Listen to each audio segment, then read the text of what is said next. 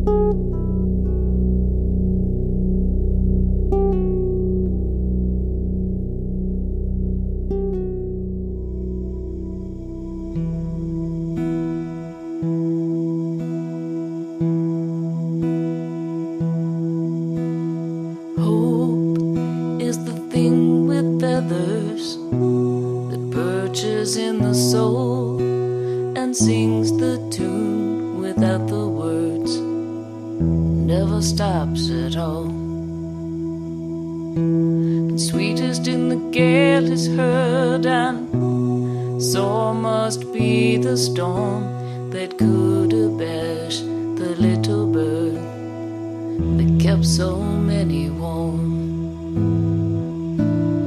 Heard it in the chillest land and on the strangest sea.